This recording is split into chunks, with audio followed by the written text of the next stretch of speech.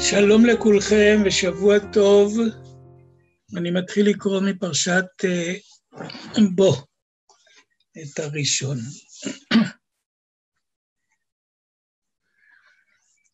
ויאמר אדוני אל משה בוא אל פרעה כי אני הכבדתי את ליבו ואת לב עבדיו למען שיתי אותותי אלה בקרבו ולמען תספר באוזני בנך ובן בנך. את אשר התעללתי במצרים ואת אותותי אשר שמתי בם. וידעתם כי אני אדוני ויבוא משה ואהרון אל פרעה ויאמרו אליו אמר אדוני אלוהי העברים עד מתי מענת ענות מפניי? שלח עמי ויעבדוני כי אם אין אתה לשלח אותי הנני מביא מחר. הרבה בגבולך וכיסה את עין הארץ ולא יוכל לראות את הארץ ואכל את יתר הפליטה הנשארת לכם מן הברד ואכל את כל העץ הצומח לכם מן השדה, ומלאו בתיך ובתי כל עבדיך, ובתי כל מצרים, אשר לא ראו אבותיך ואבות אבותיך יום היותם אל האדמה עד היום הזה, ויפן וייצא פרעה ויאמרו עבדי פרעה אליו. עד מתי יהיה זה לנו למוקש, שלח את האנשים ויעבדו את אדוני אלוהיהם, הטרם תדע, יעבדם מצרים ויושב. משה ואת אהרון אל פרעה ויאמר עליהם, לכו יגדו את אדוני אלוהיכם, מי ומי ההולכים. ויאמר משה, בנערינו וזקנינו נלך, בבנינו ובבנותינו, בצוננו ובבקרינו נלך, כי חג, אדוני לנו, ויאמר עליהם, ויחן אדוני עמכם כאשר אשלח אתכם ואת אפכם ראו, כי רעה נגד פניכם כן. לכו נא הגברים ועבדו את אדוני, יותה אתם מבקשים ויגרש אותם ואת בני פרעה.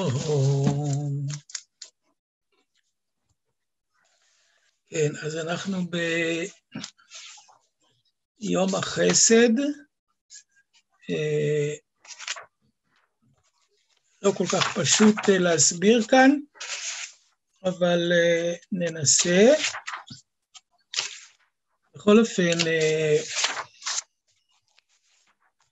בכל אופן,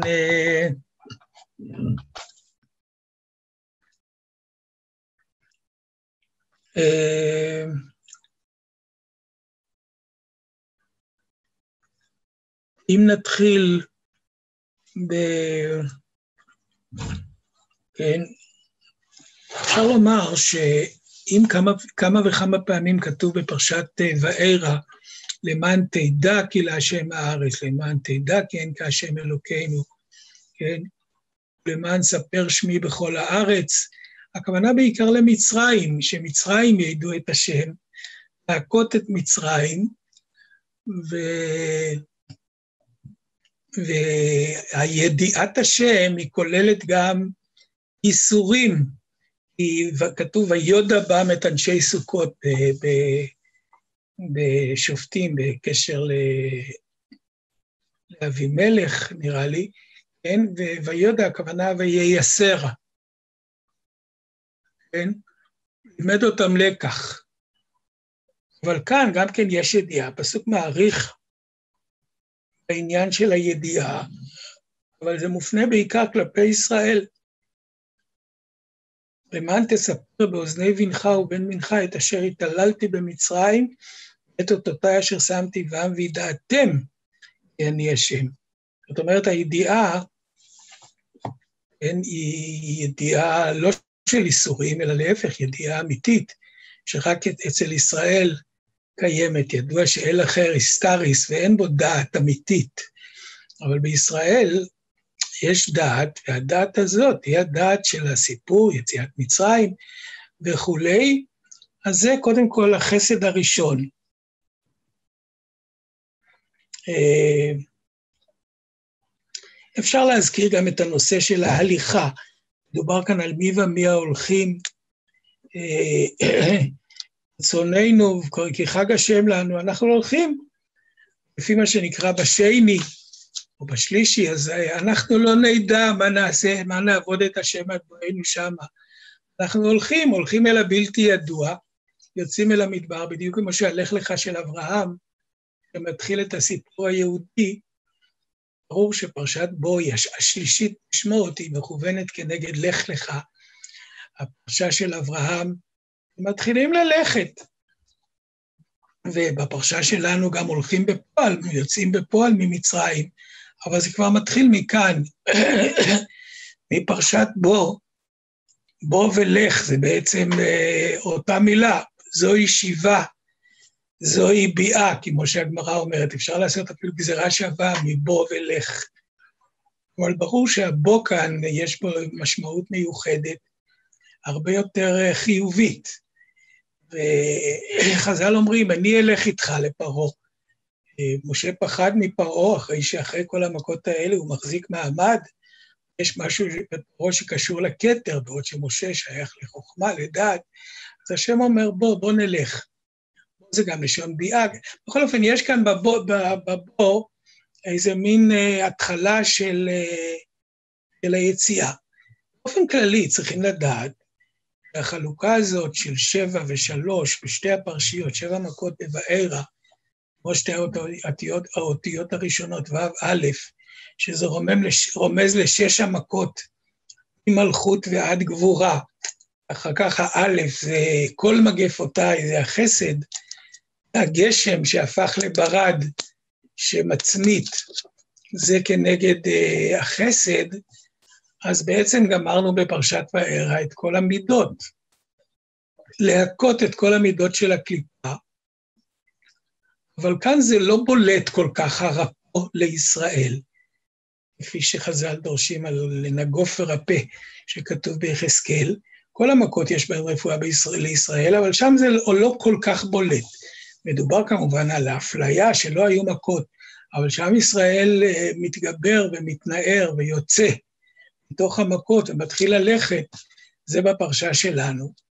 כי הפרשה שלנו עוסקת בשלוש מכות, ב' א', בוא.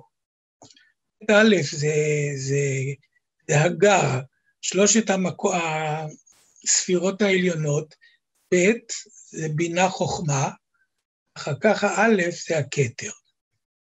שזה מכוון כנגד הרבה, הרבה זה בינה, הרבה הרבה צריך, ריבוי, קשור תמיד לאימא, לבינה.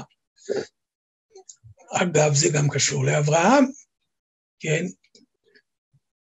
ריבוי וגידול, זה תמיד קשור לאברהם, כן? ואעשך לגוי גדול.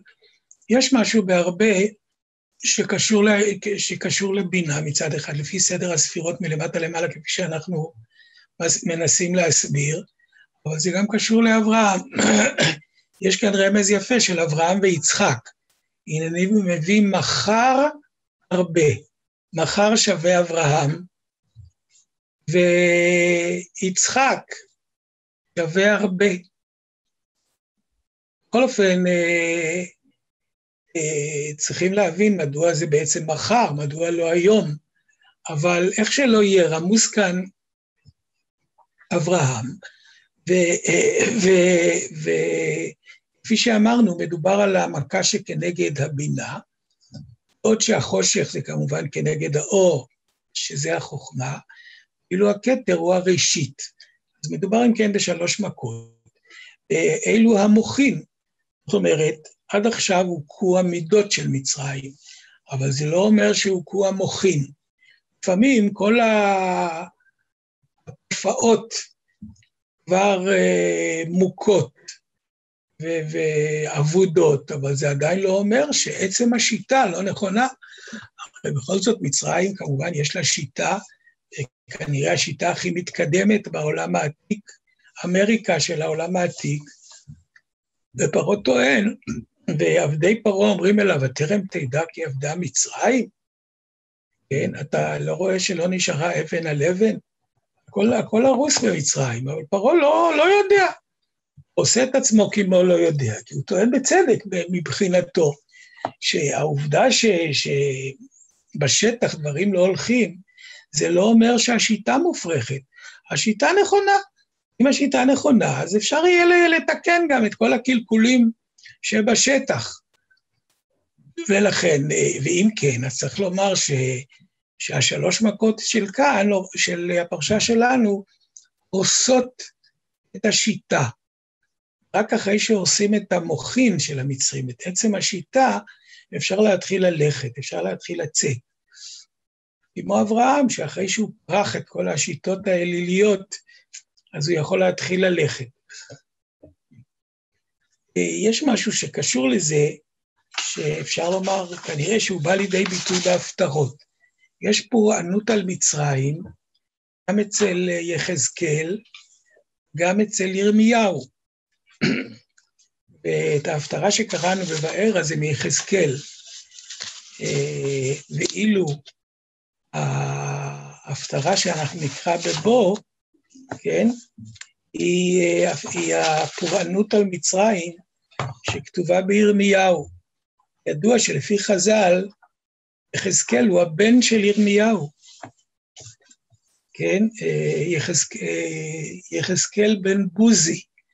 בן ירמיהו, שהיו מבזים אותו. זאת אומרת, שאם המידות הם בנים של המוחים, אז מתאים בפורענות של הבנים, של, המוח, של המידות, לקרוא את הסיכום או את, ה, את ההפטרה מיחזקאל, שהוא יחסית לאבא שלו, הוא, הוא מידות. כאילו בבו מדברים יותר לעומק, מדברים על המוחין, על אבא, על ירמיהו, ואם מתבוננים בהפטרות, אפשר לראות כמה וכמה דברים